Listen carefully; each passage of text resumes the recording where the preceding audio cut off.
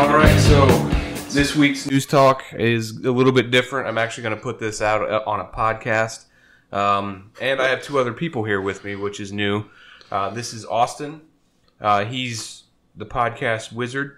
I have never done this before. He he's more of a wizard than me because I haven't done it. And he We're, has. we're still trying to figure it out. yeah, it's it's a new thing, but he's done this. He's got experience in it that I don't have. I sat in with him on a podcast, and I liked the way it sounded, and it came out good. And he offered to, to help me out with this, so I'm taking him up on that offer, probably a little selfishly, but No, Here it's we a lot go. of fun. and then this is Eli. So, He actually runs my GoPro stuff and my camera. He helps me a lot with the actual car review videos. When you, anytime you see an exterior driving shot, it's most likely Car chases. car chases done by him. He's if you see a explorer in the background following me, that's him. Yep. So he's a be- behind the scenes guy, and I, I wanted another guy here with me to kind of talk about what we're going to talk about. If you see anyone driving an Explorer breaking laws in Fort Wayne, that is not me. no, it's me. stealing his explorer. Um, well, basically, what I want to talk about tonight is something that's kind of at the forefront. At least it was about last week. The Cars 3 trailer. Uh, most of you have probably seen it. It's probably popped up in your feed. Um, a lot of people feel like it's really dark. They're going in a dark direction with it, and they're kind of surprised because they're like, "Isn't this a kids movie?" That's what I've seen. A lot of people. Is this a kids movie still? And people com- claiming that he's dying and all this stuff. And I did a little, just a couple more clicks in through YouTube, and I found another video that was a little bit more in depth. So first of all, I want to get your guys' thoughts on just the preview itself. I think they're hyping it up because they know how easy uh, people are to manipulate. Yeah. because as soon as they release this trailer, people are like, "The death of Lightning McQueen," like going to the complete extreme. Well, in one way, that's good for clickbait. Yep. I mean, if you think Yeah. about it. yeah, I agree agree with Austin. Like this movie came out 2006, Cars One. So for a lot of the younger generation, they're a lot older now. So I think they're portraying to that group of people to get them excited for this movie. Yeah. Some of the, these people even have kids now, so they want to get all of them to get to it and make it interesting for older people too. Yeah, because you were, you said 11 Yeah, I was 11 when it came out. and you're 21 now? Yeah, 20. Yeah, 20. So, yeah, you're an adult now, and you were probably, you probably loved that movie yeah. when it came out. to out. be right? honest, I'm actually excited for it. I, I can't say I remember ever watching the first one, let alone the second one. Can you give a synopsis of what the first one was about? First one was about so you got this this race car. You know, he's kind of daring. He thinks he's he's a rookie, and but you know he's just murdering it out on the racetrack. And so they're going to this uh to this new uh race field in uh, California, and there's another race car that he has a little bit of a beef with, and so they're like, all right, first one to get to California, and so on. Anyways, he ends up getting lost on the way to California. His truck driver's bed falls out, and he ends up getting lost, and he finds himself in this little town, this little desert town uh, off the Route 69. And uh, 66. 66. I'm so nervous. Did he, I'm No, so you're- he get to nervous. You're Indiana? fine. That's what I'm wondering. no, and, and he was he was really arrogant. Yeah. You know, he just was way over overconfident. yeah. Do your kids really like cars? Yeah, yeah, they do. Like a lot. Like they watch it like every day. They used to. They used to. But, That's you know, what I mean. Yeah, on. like when it. But um, yeah, and just kind of continue on. It gets lost. Just kind of make it a little quicker. Gets lost. Gets humbled, Yeah. and meets this um, ex racer. Teaches him humbling lessons Yeah. and and all that stuff. That's basically the main story. And then he goes on and Yeah. wins the big race, but Which, is humble about which it. is interesting because he ends up falling in love with all these people in this town. But the one he becomes really close with is Hudson, who was a previous race car driver. But he was in a wreck himself, and that's how he got out of the game. Uh, he actually didn't even know he was a race car driver until he went to his shed and found all his trophies. He was an amazing racer. yeah, So kind of the same storyline as Cars Three So you, from point of Hudson. Yeah. so you think they're gonna tie it? Oh yeah, th- that's what that second the the actual clip that I sent that made sense. They kind of tie in Doc Hudson with it. And, Yeah, that's right, And remember the um the cool thing about the guy who played Doc Hudson, the voice, uh, Paul Newman, he actually was a famous actor turned race car driver. Hmm. And he Was he, basically was he any good? yes, he was very good. He actually won the last race he was in, and he was like ninety some years old. Yeah, amazing driver. Was he in a car or was he in like a, a was in a- scooter? no, he was in a Corvette. He was What? a very, very respectful driver, and he, um, hope that to be me when I'm 90. he, yeah, but he held off on taking any acting roles until he felt one that was right, and that Doc Hudson role was the last role he ever took. So he really had a big hand in the way that that movie went. So when you look at it from that side, that this actually like racing legend, um, pretty much had a big play into making that movie a little bit more legit, more realistic. I mean, it, it's a cartoon and there is Yeah. that story, but but he had a big role in making it interesting and believable for a lot of car guys. Um, and then the second one, I really Yeah. like the second one because it brings in a bunch of other type of racing yeah, that's into true. it. It gets more because the From- first one's more just NASCAR, and then the, the second one gets into everything Like world racing? yeah, Yeah. What, what do they call that? world racing like WRC. World Is that what, where Rally they actually have a, a route um like in Paris? Like This- what's, what's the one you always hear like in like Paris? In Like, the Paris? Dakar? No, that's not Paris. Paris. You're probably just thinking of Formula One race, like popular Yeah. Formula One Should races. explain about my uh, knowledge Oh, of cars? what is your knowledge of how, cars? how old is your son? Four. So- he'll be four and Him and I have Couple about weeks. the same knowledge Okay. of mechanics. Yeah. It- no, he um the second one it's more of like a made up premise of racing, but it's got it touches on every different type. Yeah. Um and then so this third one coming, they start off by all they all the thing Yeah. I've seen in that trailer is just him crashing. Really. Yeah. There's just a couple shots of flybys. They're gonna milk that Yeah. until the day it comes. The cars out. didn't look like NASCAR cars, though. Yeah, that was the other thing that they're supposed to be the the other clip was talking about they're the new and upcoming Yeah. young race car drivers and Lightning Yeah. McQueen's actually kind of an old guy Yeah. now, like Doc Hudson was. Mm-hmm. I mean, I can't really tell, but it looked like from the back, and one shot where the what was the Ignite car almost looked like a Le Mans car for a second. Yeah. I don't know if we're reading a little too deep. if we go Le Mans car, but, but I get what you're saying. Those aren't the same. The the other cars that were in that video. Those aren't the same type of cars that are in the, the Indy 500, are they? I don't Maybe. think so. Was, was it open? What Do are they the have ones? any open wheel? I didn't see is that any the open one where it's like flat and it kind of the the tires stick out quite a bit? Indy cars That's are open IndyCar. wheel. That's Yeah, an okay, open so, wheel, hey, and I then Formula right. Formula One is a lot like that too. Yeah. I'm gonna put a check here for me. But yeah, there was another video that I shared with you guys. I'm gonna pull up the title real quick. Uh, so if you want to go find it and have a good laugh, you can. I don't care if you click off this and do that. Um, the title is Cars 3's Cars 3 Everything We Know. Five creepy. What is it? Five creepy Oh man, theories. Five creepy theories, and he's got a hundred thousand views on this. he's entertaining. So we're doing something wrong, is what you're saying. But this guy's theory is so left field, way off base, that it's insane. And I told these guys earlier, I think he smoked some pot and then watched the first two movies and then all the little mini movies that Mater was in and came up with this theory. So you got to go watch this. I hate to plug this guy's video because it's so ridiculous, but you have to go see it. And just the theories that this guy comes up with is incredible. the um? So the love interest of Lightning McQueen, uh, Queen, McQueen. McQueen. Mc, Yeah. McQueen. Yeah. Okay. So the his love interest in himself uh, make a child, a baby mater. A right? baby Mater, which is yeah, oh, So a NASCAR with a Porsche somehow makes a baby Mater. Well, supposedly he time traveled, somehow ended up in between a Carrera and a NASCAR. No, what I didn't understand is did he say like he encouraged them to make a baby? Like was this like Back to the Future style where I don't I don't remember. but somehow he tried to try in Planes, that movie. I don't know if you guys saw the movie Planes with he Dane kind of Cook. sidestepped that? He was just like It's here, but it's not. he's It'll be but there. That had nothing to do with his point. I don't think. No. I think he was just saying it could happen. I just love how NASCAR plus Porsche equals truck. But if that really happy happened, I'd be more So questioning you would Mater yeah, cheating on. her, that Carrera has some explaining to do.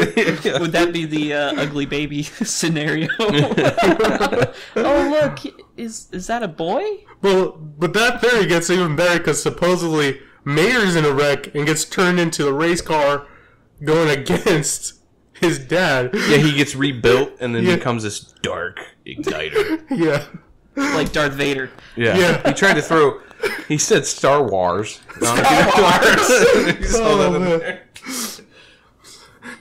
He did because I think he was trying to say like cars is like Star Wars, and he's just like, see, Star Wars, Star Car Wars, Wars. Star Wars, Star Wars. Star Wars.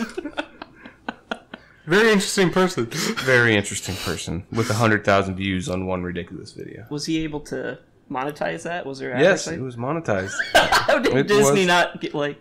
Um, Yeah, I don't know all the legal jargon you have to jump through just hope because he was caught. showing a bunch of clips and stuff. Yeah, that's from- what I'm. Yeah. Even if you show like a picture of cars, like you can say cars and Yeah. it be public, but the the fact is when you have a video and it says it has their artwork on it, that's when it becomes copyrighted.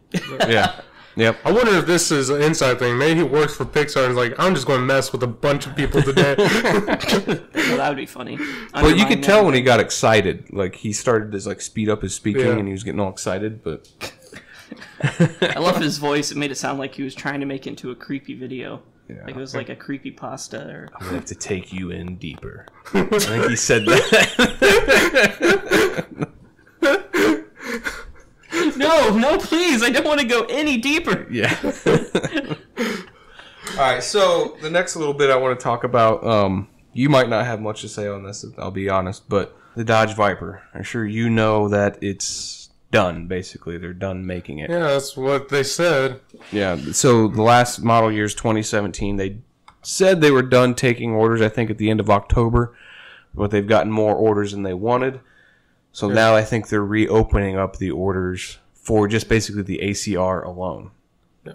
So do you think the Viper is actually truly gone? I don't. I think I think it might be gone for a little while. I think what might be happening is uh because I mean that thing is just a gas monster. Um, so I think they might be re-engineering the car and just not telling anyone. I think it might be gone for a little while, and then they're going to be like, "Surprise! All new Viper comes out." I wonder if it might even come out as a hybrid. Or maybe, Maybe. they're actually killing off the Viper itself and never going to use the name again, but we maybe will get another I hope high we get performance A, I hope we get a Hemi 'Cuda back. A Hemi 'Cuda. I don't know. I don't know. That'd That's be just another. That's just another challenge, Yeah. though. But It sounds cool. yeah. Why Yeah, would um? Why would why would they scrap a Viper? Like why would they? I think Eli's got a really good point with all the emissions things going forward because I can't remember the year deadline. It was like 2019 or 2018. Did they did they cheat That- on something and see like VW and they're just like No, hold on a second. no, they. Let's- yeah, I mean it's a gigantic V10. Yeah, It just eats tons of gas. but what the thing is, is everything by 2018 has to meet. Like if you have, if you're a car brand or a car manufacturer, Yeah. over the board you have to meet an average of fuel economy, emissions, and mm-hmm. all Yep. those things combined together. Hmm. So if you have this monster V10 that's drinking fuel and putting out terrible emissions, that's throwing off your your average big time. The interesting thing though about Dodge though is that no, they're. I mean, yeah, this Viper. I mean, just huge gas monster, but they don't have a lot of other cars to offset it because it's overall over all their cars that meets that quota. They don't really have a whole lot of fuel efficient cars. We got Challengers, we got Chargers, we got trucks. I mean, there's not a whole lot. But there's not a whole lot that we pay attention to. They got the Dart, they have the the 200, which that was I heard was going to get nixed, but I'm not 100% sure if that's actually going to happen. So they have a range, and since it's I don't know if it counts for the whole thing as like FCA, that Fiat Chrysler America. Yeah. Because then they have Fiat in there with their those little 500s, and those get good gas mileage. So Oh, if those are all lumped in, Charlie Sheen favorite. Charlie Sheen favorite. Remember those commercials when he's driving his mansion with a little Fiat? no. okay. no, I didn't see those. No. But I think Eli, I think you're onto something. They might just kill the Viper, and then come out with another. Because if they kill that, they don't have Yeah. anything com- to compete. yeah. Well, With that's the why Corvette. Ford has all that EcoBoost stuff Yeah, because of all that. yeah. So maybe we'll see a twin turbo V6 Viper in the future. That'd be weird. That would be very weird. That'd That be would- weird. that would I don't be think weird. they'll call it a viper. No. Like I think you're onto something, but I don't think it'll come back as a viper. what do you think their new name brand is going to be? I don't know. Because Viper has been so iconic for so long. Yeah, oh one it came out. Yeah. When's the last? 2001? Uh, when's the last brand they X-nayed like that? Like if they would do with Viper. Would they get rid of? Well, they got they got rid of names like the Sebring Yeah. and the Advent. I don't know. Did they get rid of the Avenger? They may have, but Yeah, the Sebring have. became the 200C. Yeah. Um, Cuda. the Cuda that's been gone for a long Long time, time. and so they've done that a lot. Like the Viper went away for a few years and then came back, but So it it, has, it could te- it could technically still come back. They could bring it back to life. yeah, Oh, I wonder if it's. I wonder if it's a demand issue. That's the thing because a lot of people weren't buying Vipers because Yeah. they were a little bit overpriced. That's what people were saying for what you got. Yeah, it's and true. then now that they've said that they're discontinuing the Viper, the orders are maxed Yeah. out. They're everything's all the allocations are spoken for. Yeah. There's even I heard another dealership down somewhere down south that bought hundred Vipers Yeah. to say goodbye to the Viper, and they're going to do a couple like custom built Vipers. That's going to be cool. It's just so I hate to see it go. Yeah. I've, I've ridden in the newest Viper and it's amazing. yeah. I mean, it's just mind-bogglingly fast. Like I don't know, I hate to see it go. Yeah, it's going to be sad. Well, I know, like, like when the Corvette came out, the new Stingray body style, like, that thing's been selling like crazy. I see them everywhere now. Yeah, The Viper, I just don't see people don't see driving. 'em, yeah. I don't see them. Like, I'll see one every blue moon, but I mean, those Stingrays, they're everywhere. yeah, but I imagine production numbers are probably quite a Yeah. bit different too. Compare when you compare from a Viper to a Corvette.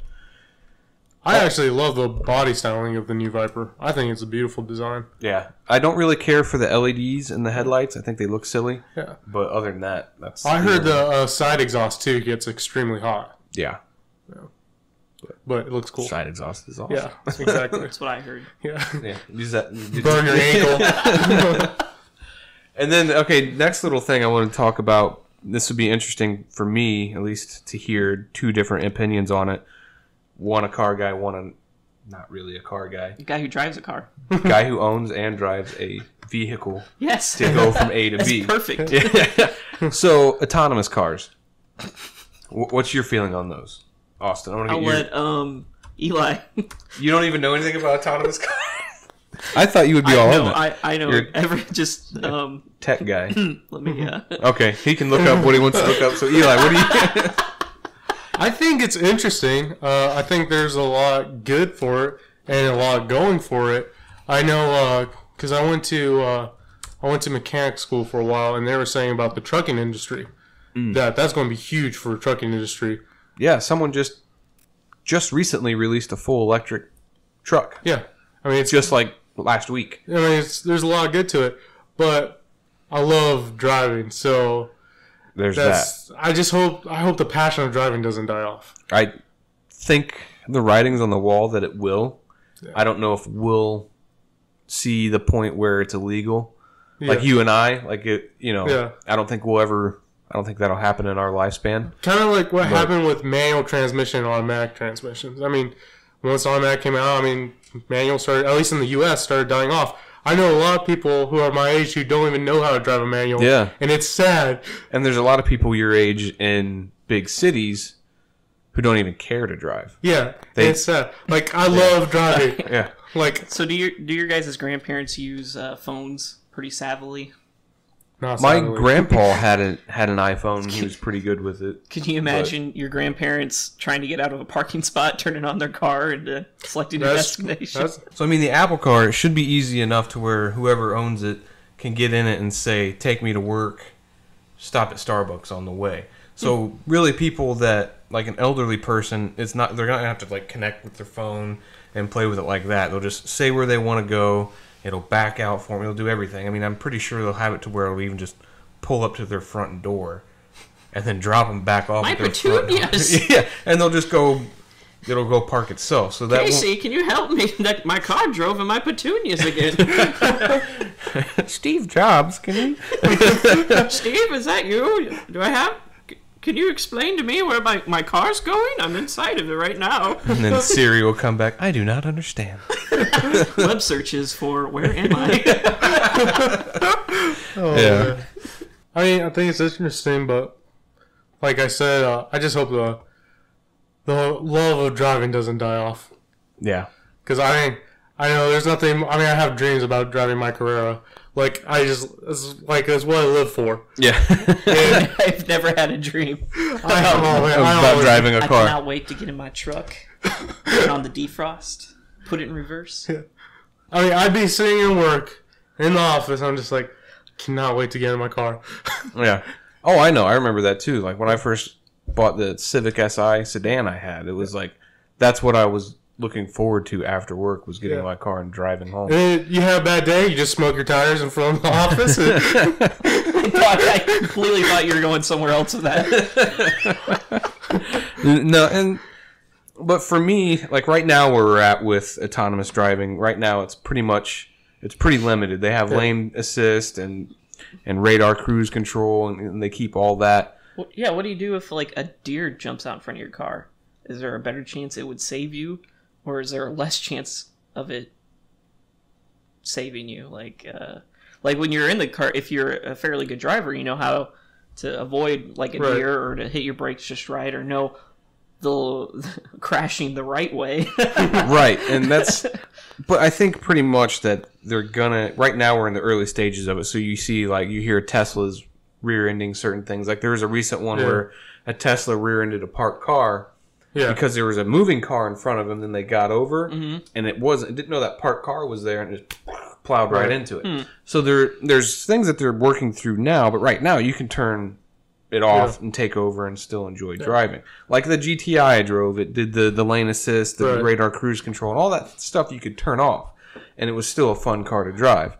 But with where we're going, like with the Apple car, yeah, and what they want it to be, like what I've heard, is they want this Apple car to connect with all the technology everything. around. So, like, if there's a guy with a cell phone in his pocket, it's gonna know that, and It's amazing. and it'll just basically be able to pick up a human wow. that's two blocks down the road that you can't even see, but he know that car will know that human's there and where they're going, and so it's going to be just everything Interesting. will be linked They- with each other. They would have to make this thing though so foolproof because if it gets to the point where people stop learning how to even drive, and then if something goes wrong with the system, the system's down, and you're on the freeway, and you don't know how to control your vehicle, that's going to be pretty scary. yeah. Let's go. Because right now, like the BMW, the, the new 7 Series, it has a lot of autonomous driving like oh, yeah. the Tesla, but you have to have your hands on the wheel. It doesn't like you taking the off, Right. off the wheel because they want that human there Right. to take over when the system just gives up. So you've driven a lot of uh, cars that have a lot of the park assist and whatnot. Is it scary letting the car take over? It is a little bit. I've driven a few where, where when I'm on the highway doing the lane assist, I'll just sit back and just let go. And some of them are really good at doing it nice, gentle, and smooth. And then there's others where it jerks back Yeah. and forth. And if I would have just let it go and if it was slick out, it probably would have spun the car out. And I've been told that that's adjustable, but I was never shown how to adjust it. So I hmm. hope that if it really truly is adjustable, that people are getting shown Right. how to adjust it because it was. I think it was more designed if your hands are on the wheel and you're drifting, it's gonna kind of like, hey, Yeah. wake up. But if you just I are feel, stupid, I feel like these cars are more for the new generation of driving because I mean, I feel like me, like based off what you said, like I feel like it'd be hard for me to get used to a car doing the driving for me. Yeah, But, I feel like if I had a kid, he's that's all he's going to know. Alright, I'm not gonna lie. If you look at the Google one, it looks like a 1940s English cop car. Yeah, that's the other part that I worry about with these autonomous cars is nobody cares how they look. Like the ones, the pictures that Apple actually shared with Motor Trend, and they had a, an article on on the Apple car. Right. It's just a pod. Yeah. They really are more Yeah, focused car on. pod. I know. I Yeah, said. yeah, I said they shot themselves in the foot when they already made something named the iPod. Because yeah. now they have a pod, Where, where are we at? Where do, who am I? Apple CarPlay or Apple CarPlay. That's actually a system. But, um, but no, it like, and the guys that are on this project that they talked about in the Motor Trend article. I already did a news talk on this, but who cares? Um, these guys own like an Aston Martin DB5. These guys are car guys, and they've designed this, box. It's just Yeah. a box of a car, and it's You see, Like the, ugly. Was it the Scion? No, It's worse than that. Like, it's just so bad. Just search Apple car, and I'll show you the one that it actually they they shared mean- with Motor Trend. you know what? That's why I like Tesla. Because Tesla it looks good. They design beautiful cars, but you know Apple technology is amazing, and so is Google technology.